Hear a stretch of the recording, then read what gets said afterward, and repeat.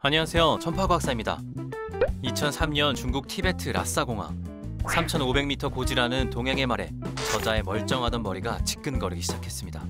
결국 일정을 취소하고 숙소로 들어가야 했죠. 여인 숙소 중인 호텔에는 두통약은커녕 영어가 통하는 직원도 없었습니다. 그때 방 한 구석에 비닐 마스크가 달린 통이 저자의 눈에 들어왔습니다. life saver라는 문구를 보는 순간 저자는 안도했습니다.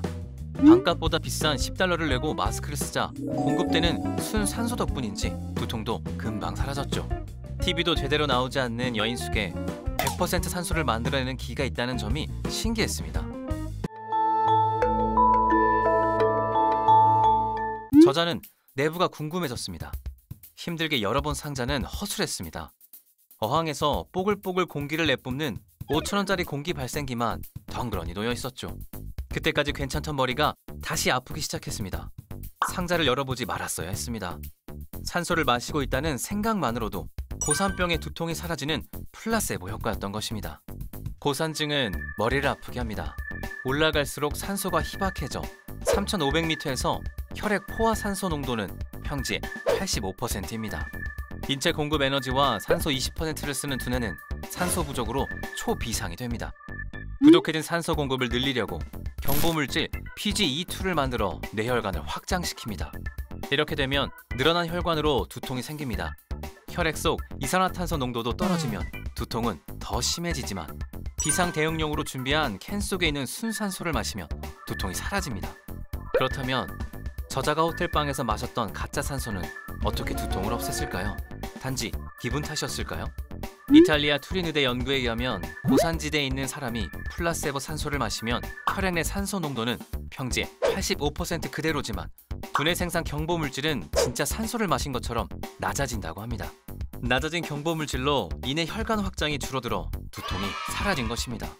생각만으로 실제 두통 원인 물질 PGE2가 줄어든 것이죠. 통증은 두뇌가 느낍니다. 약으로 통증이 없어질 거라고 생각하면 굳이 고통을 감내할 이유가 없습니다. 가짜 약을 먹으면 통증이 가라앉는 이유입니다.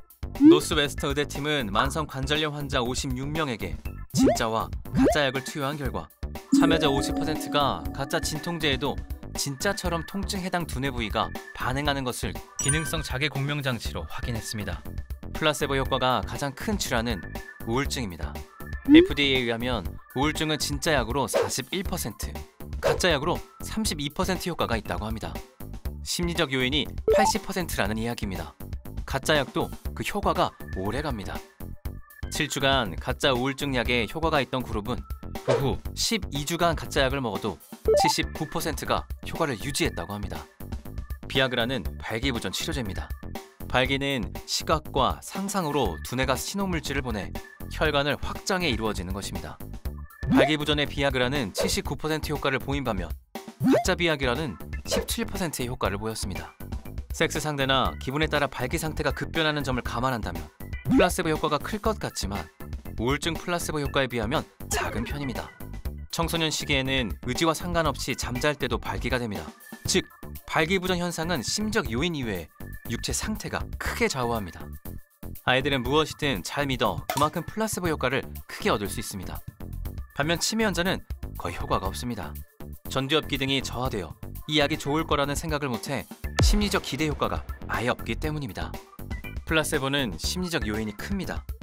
작은 약보다는 큰 약이, 분말보다는 캡슐 약이, 안 알려진 약보다는 유명 브랜드 약이, 약보다는 주사가 효과가 크죠. 그만큼 기대감이 중요한 변수입니다.